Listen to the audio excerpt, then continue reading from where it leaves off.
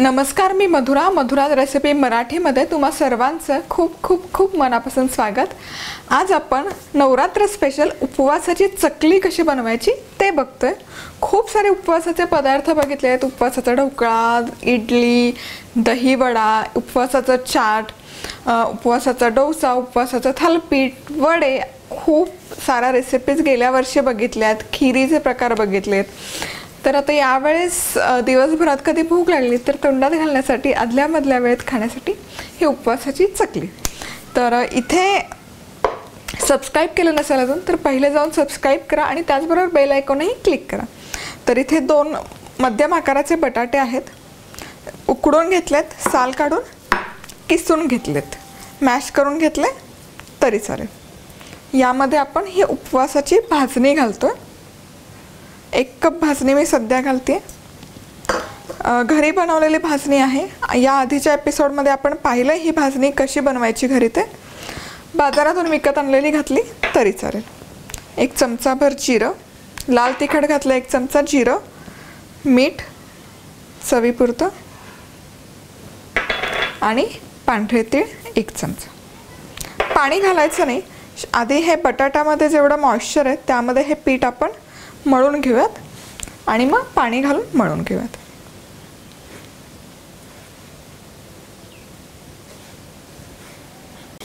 झटपट बनते ही चकली. फार काही मेहनत लागत नाही या चकली ही चकली बनवायला.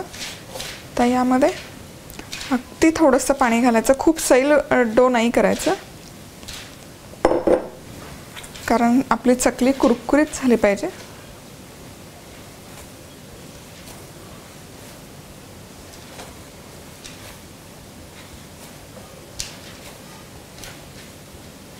चला तर मग हा गोळा बनवून तयार आहे.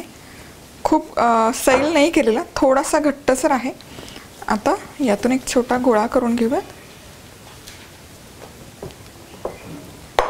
तर इथे माझ्याकडे हा चकली बनवायचा साचा आहे. यामध्ये खाली चकली बनवायची चकती घातली मला लाकडी साचा खूप आवडतो म्हणून मी वापरते. खूप जुना आहे हा पण चकलीला काटा खूप छान येतो या साच्यामधून. इथे बटर पेपर आहे.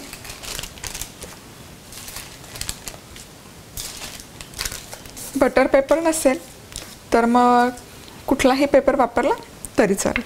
शक्यतो न्यूजपेपर नको.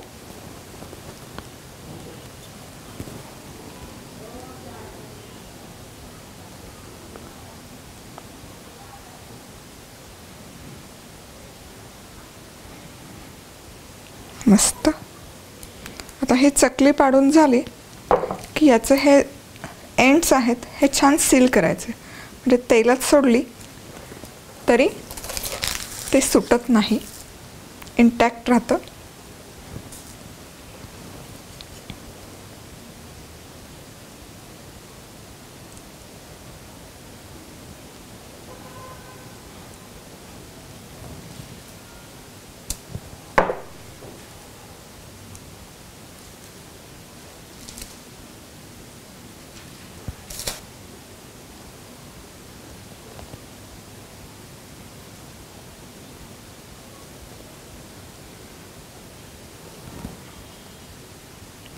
पाठीमागे तेल गरम करून ठेवलेलं आहे.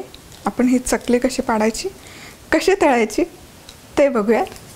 इथे तेल मीडियम हीटवर गरम करून घेतलेलं आहे.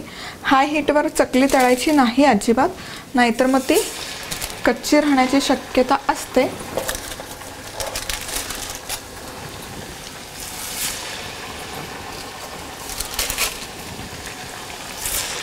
लो टू मीडियम हीटवर प्रत्येक बाजू कमीत कमी तीन ते चार मिनिट आपल्याला तळून घ्यायची आहे. एक तीन मिनटानंतर पलटी करायची आणि दुसऱ्या बाजूनेही छान अशी खरपूस तळून घ्यायची मस्त. आता इथे दोन्ही बाजूने व्यवस्थित अशी चकली तळली गेली आणि इथे तुम्ही बघू शकाल चकली टाकल्या टाकल्या खूप सारे बबल्स होते. म्हणजे त्यामध्ये मॉइश्चर होतं.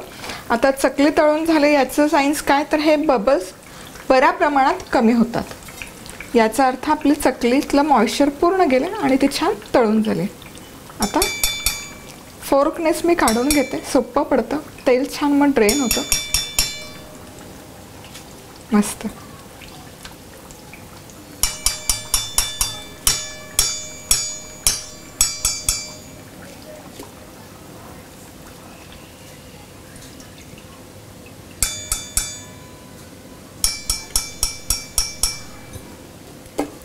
आणि हे आपली उपवासाच्या भाजणीची चकली तयार आहे अजिबात वाटत नाही आहे बघून तरी रंग आणि याच्यावरून की ही उपवासाची चकली असू शकते. तर याच पद्धतीने उरलेल्या चकल्या पण आपण मस्तपैकी तळून घ्यायच्या. चला तर मग इथे आपली चकली बनवून तयार आहे.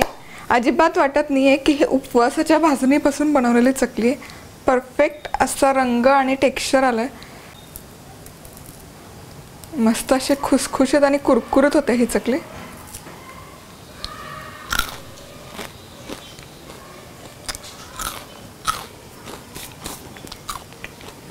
हम्म. मस्त.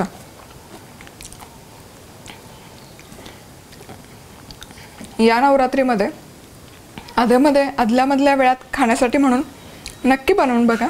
झटपट होते फार काही वेळ लागत नाही. आणि उपवासाची भाजणीमुळे छान खुसखुशीत होते. आणि सरप्राइझिंगली याला तेल खूप कमी लागतं. खूप कमी तेल खाते ही चकली. तर आज वेळात वेळ काढून तुम्ही ही रेसिपी पाहिल्याबद्दल तुम्हा सगळ्यांचे खूप खूप खूप मनापासून धन्यवाद. पुन्हा भेटूयात अशाच एका छानशा खमंग खुसखुशीत रेसिपीबरोबर तोपर्यंत मस्त राहा खुश राहा आनंदी राहा आणि सगळ्यात महत्त्वाचं खात राहा. हम्म.